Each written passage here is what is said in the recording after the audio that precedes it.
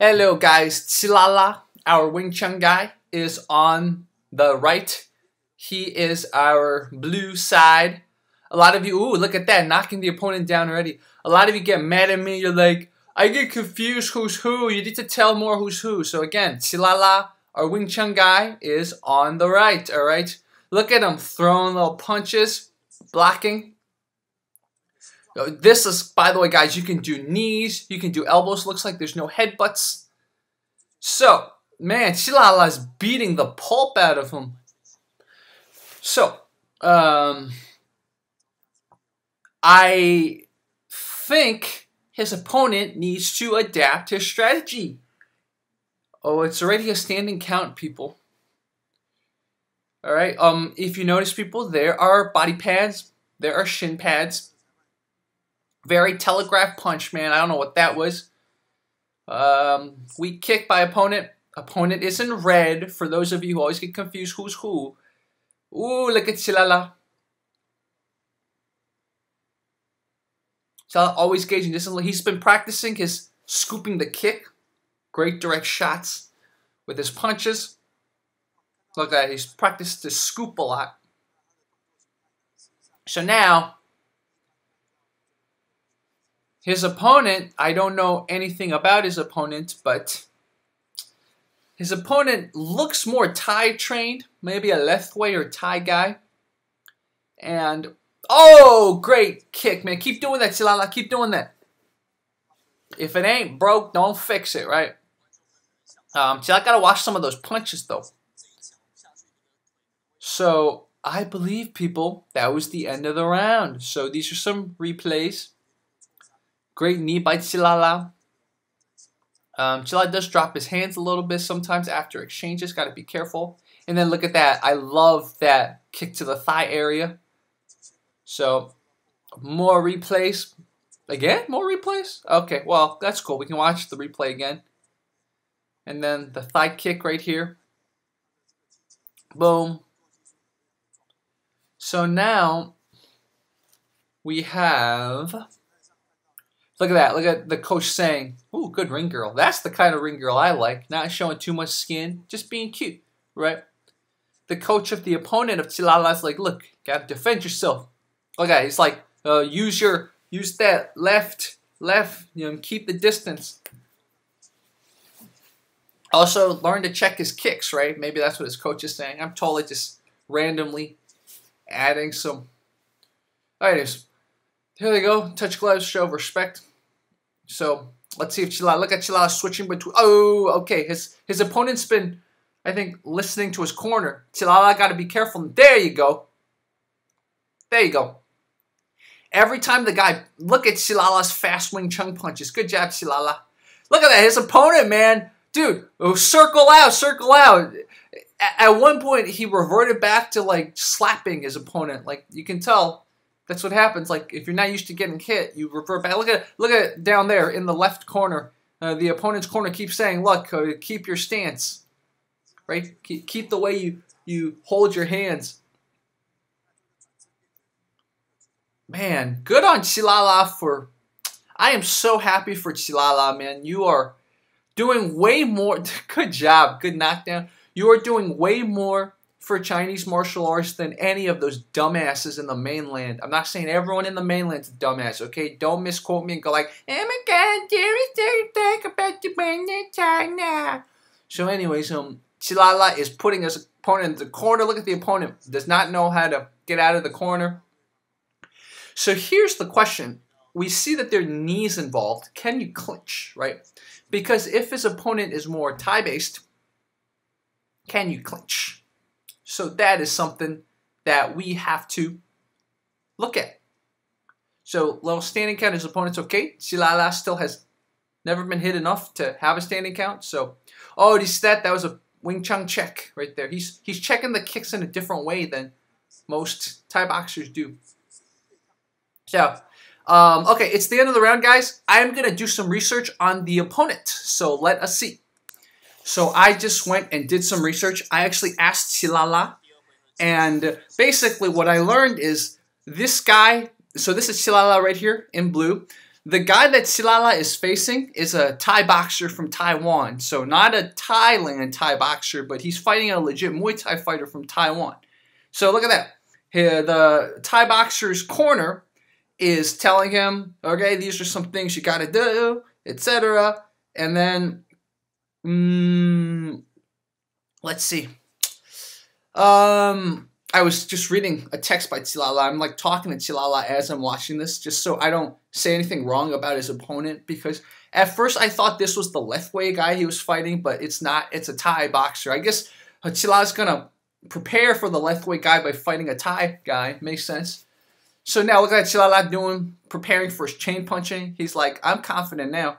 Boom. A little bit telegraphed those punches, but they're working, right? If I, you know, they're working in this fight, so this Thai boxer's got nothing, man. And I'm wondering, I'm going to ask Qilala right now um, whether clinching was allowed in this fight because I feel like um, if clinching weren't allowed, it would make sense why um, this is. So let me ask Qilala right now. 你打斗的时候可以 clinch 吗，齐拉拉？我看好像你的对手没有 clinch，所以我我觉得我对这一点我挺好奇的。so let's see what Qilala says. Um, look at the, look at the cupping on his back again. It's so funny. I'm talking to Qilala while I'm doing the recording. So I don't know if he knows what clinch is. He doesn't speak English, so I hope he knows what clinching is. Um, and man, it's tiring, man. Props to him. Um, Body pads help. So if you got body pad, let's see what Tila says.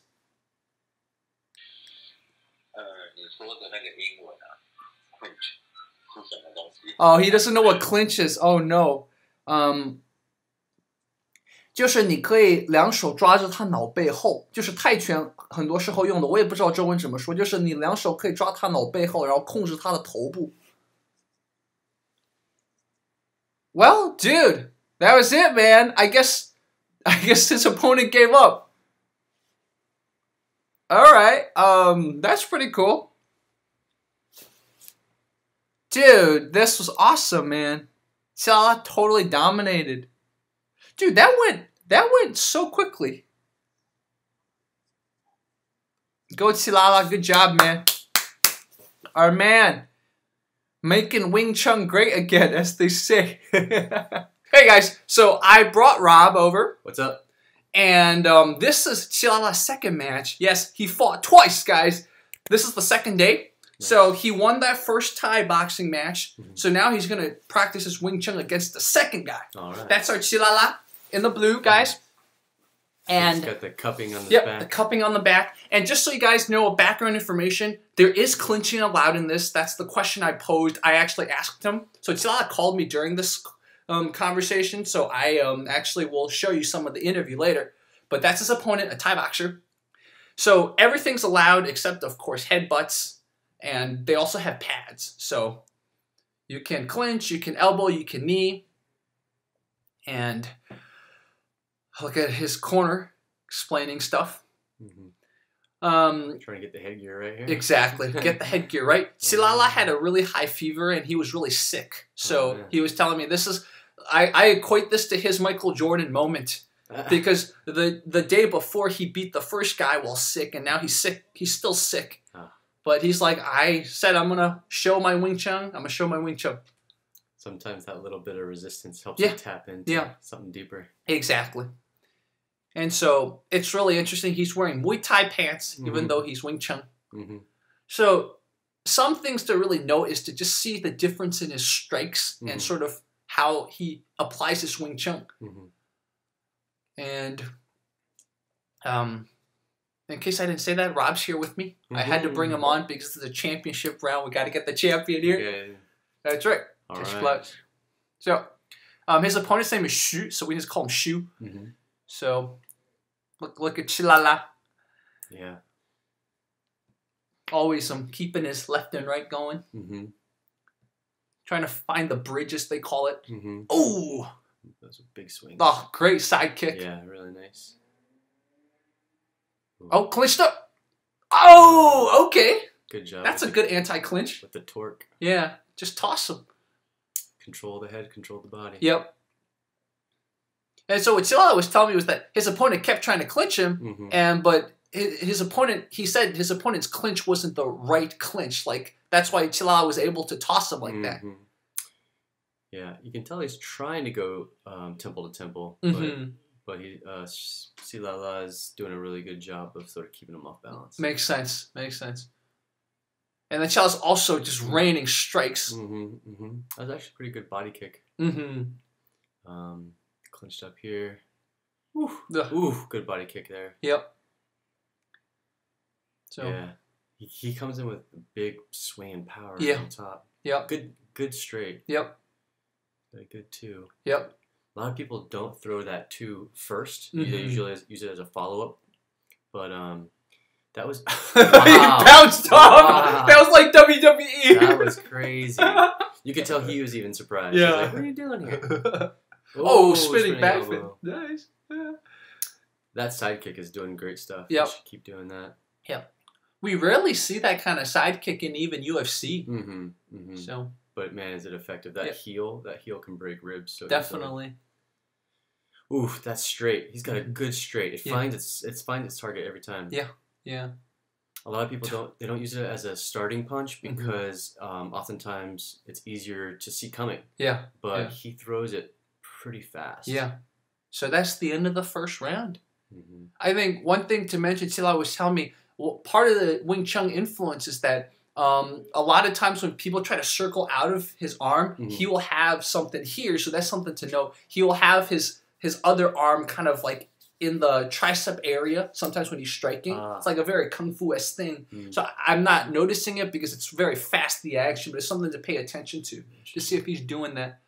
You know, um, that's something that I saw recently as well, but it's, it wasn't underneath; it was on top. hmm Oh, like that. Yeah, I see. exactly. Yeah, Ferguson, I think, does something like that, right? Yeah. and that's mostly just to prevent the counter strike coming over the top of the shoulder Yeah. and hitting you. Makes in the sense. Makes sense.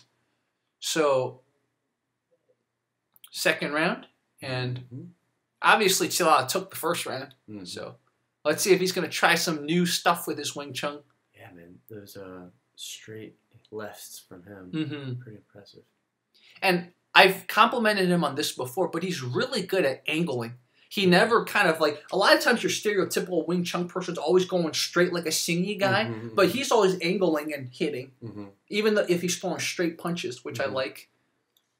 yeah, he he is going a little bit to his right, Mhm. circling a little bit to his right. Yeah. it would be great to see him do a little bit more of that. hmm uh, just right after a strike, just angling off a Yeah. little bit more. But um, but I think here he's he's not really too threatened by the guy's power. Exactly. So he's he's sort of just dominating. and doing that all the time. wow, man, if that was the case, if those were made known to be legal, Uh-huh. then as soon as somebody grabs your head, you would just posture up as quickly as possible to get them off the ground, essentially. ah, makes sense.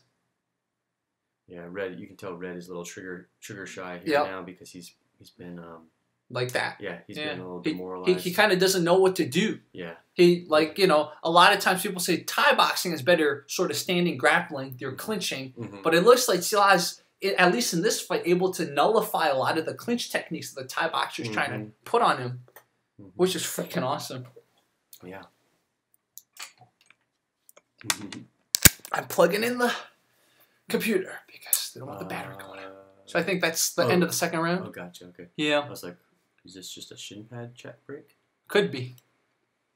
So one thing to think about is what would happen. Like, what would be different if they didn't have the pads? Like, would would Silala have more trouble with his Wing Chun potentially? Hmm. Yeah, few things suck more than shin to shin. Yeah. Ouch. Oh, look at the chain punches. Oh, Shilala. Yeah, and then the opponent tries to clinch and Shilala throws him. yeah. He's he's totally not feeling it. Yep. Shilala's Um, trying some. Oh. He's got he's got good distance distance management for the most part. Mhm. Um, he does throw basically from his sternum. He Yeah. doesn't, he doesn't keep his hands up too high. Yeah. But I think it's mostly because he's constantly keeping track of where his opponent's hands are. Yeah. His opponent is out. Yeah. He is, he is not doing well. he probably this fight should probably be called. I agree. There was no standing count or anything. Like in the last fight, Silala Oh. had put his Oh, opponent. Yeah. Yeah, that's that really breaks your will. Yeah. there. Ooh. Oh. Uh, uh, he just stood there. He's like, "Oh, ref, break this up." Well, because he knows that if he keeps his hips high, Mm-hmm. like underneath his opponent, that it's gonna be really hard for his opponent to knee him. True. He also knows that his opponent is really dazed. Really dazed and tired. Yeah, makes sense. Man, it's so crazy what adrenaline can do to you. Like the fact that he's sick, hmm but he's just like now he's in fighter mode. He doesn't care. Yeah, that's pretty wild. That's crazy. For my eighth grade talent show, I, I did kung fu on stage, and I was so sick too. Mhm. But once the time came, I forgot about my sickness. Mhm. But I, I totally feel it. I was surprised too. I, I thought I was gonna mess up on stage and like crap my pants or something. But Qilala said he was having diarrhea too, so I guess the the one good thing about that is that your body's very clear. You're very light. one thing that Qilala told me after I talked about this fight is he felt like his opponent was floating, so it was really easy just to toss him. Interesting. So Because he's uh, maybe he, uh, yeah. like that. I saw a great Wing Chun move. He punched and kicked at the same time. It's like a very kung fu esque move he did Mhm. earlier. I'm trying to think how to best counter that that pivot. Mm-hmm. I mean, as soon as somebody grabs grabs your head in that Muay Thai plum, Mm-hmm. first thing you want to do is get your hips underneath theirs. Mm-hmm. Makes sense. And I see some same side kicking, same side striking. So he's like right kick, Mhm. right punch at the same time, which is you know Yeah. lots of kung fu techniques have that. Yeah, see, he throws low. He's he's throwing from his basically his sternum Yeah. his hips. Yeah, notice that. Uh the guy in the red has he's just he's just trying to survive. Yeah. But he's got no jab. No, I mean, like, not at all. If he wanted to, he could, you know, jab as much as possible and sort of try and keep the distance. Yeah. But, but I think in a way a jab is not really in his arsenal. Yeah, yeah, Like he you can see here he's like he could just be throwing it out there just yeah, to keep yeah, exactly. keep him at bay, you know? Yeah, yeah. It's not it's not in his arsenal apparently. And he's tired, but like a lot of Thai boxers, they they teep a lot. Yeah. It's like their jab, like what Yeah. Qilala's doing, kind of just teep, keep Yeah. distance. He's definitely stunned. Yeah. definitely Ugh. Oh man. Oh yeah. That should be stopped. Yeah, good. Good, good, good. That should be. I hope it. They're just giving him a standing count. This is why Uh. standing counts are so bad. Yeah. Like you can tell, he's obviously not fighting his full potential anymore. Right, right. He, he's, he knows he's done. Yeah. Jeez. Man, that ref should really just stop. Yeah. Like at this point, it's just brain damage. Mm-hmm. Mm-hmm. Is his corner throwing in the towel, or is it just the end of the round? Yeah, I think it's okay. That's a good corner right there, calling it off. Yeah. Well, I think they're just adjusting his pads. Oh man. Wow. Yeah. Mm. He went. He telegraphed that from a mile away. Yep. Now I'm coming with that big right. And you notice how Daisy is because the Thai boxer's hands are so low. Mm-hmm. Like, and he's not doing it on purpose, like Oof. Shilala. Yeah. Oof. I think I think they're gonna call it, or maybe that was the end of the round. Or are they gonna fight another round? Nope, they're gonna call it. yeah, that makes sense. Good, good, good. Jeez. Yeah, that was great. Yeah, it was, and a lot of people are like, "Oh, but I don't see any Wing Chun." I think we definitely saw a lot of Wing Chun in this.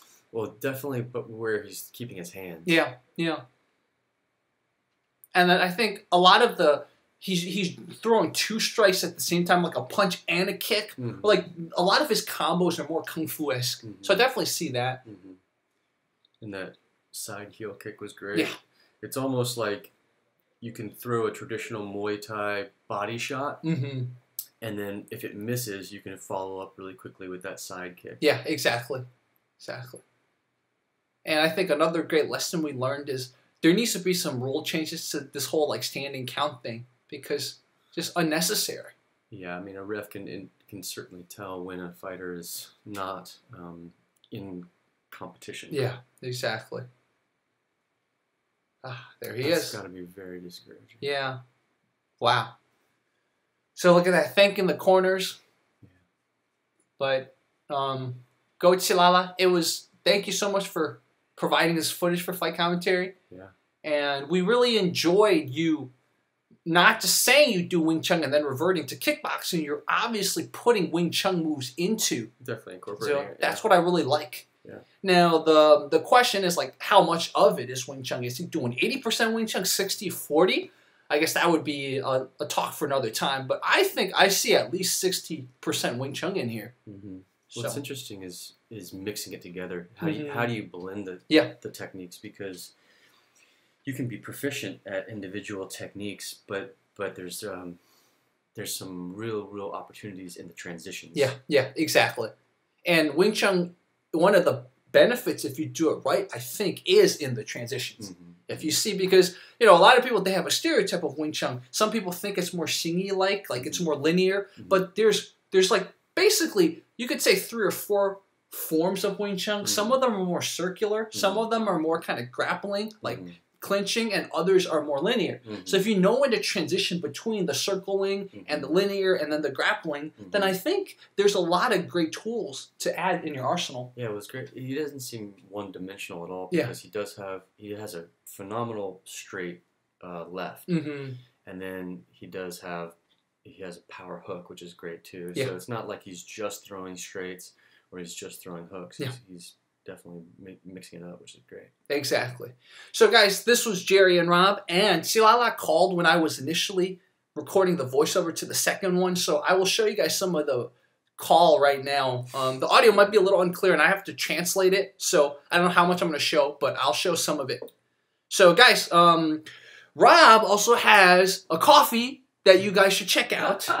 So, you guys should check out Jaybird Coffee. I'll put the link below delicious. It's really good. I'm on it. That's why I'm like super, super, you know, Jerry right now. Rob just drank it. That's why he's not yet at my level of mm. energy. but okay, check out Jaber Coffee. Now my conversation with Qilala. 嗯哼，泰拳的勒颈，勒颈叫勒颈，它专业名词是手相扑。手相扑，OK。对，就是他们控制你的脖子，控制你的中 mm-hmm.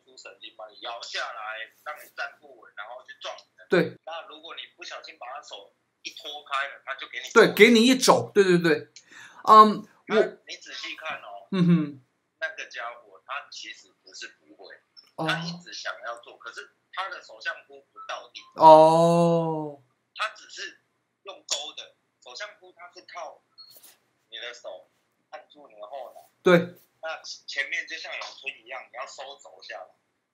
嗯哼，但是他就是那种外行的，就是用勾的，